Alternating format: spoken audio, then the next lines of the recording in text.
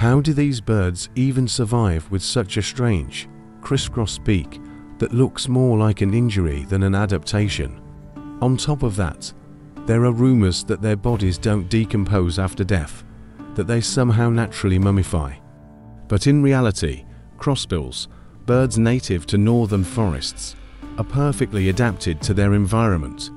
Their unusual beaks are specialized tools designed to extract seeds from pine cones, which they eat year-round.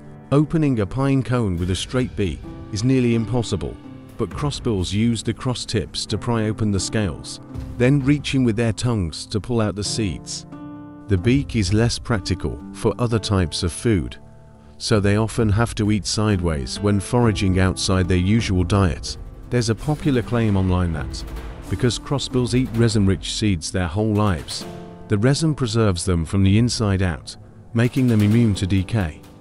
While it's true that resin might slightly slow decomposition, it's nowhere near enough to naturally mummify a bird. More likely, so-called mummified crossbills are simply the result of their habitat, cool temperatures, dry air, steady winds, and the antiseptic properties of coniferous forests, all of which can slow down decay in any animal. Crossbills also have incredibly strong feet.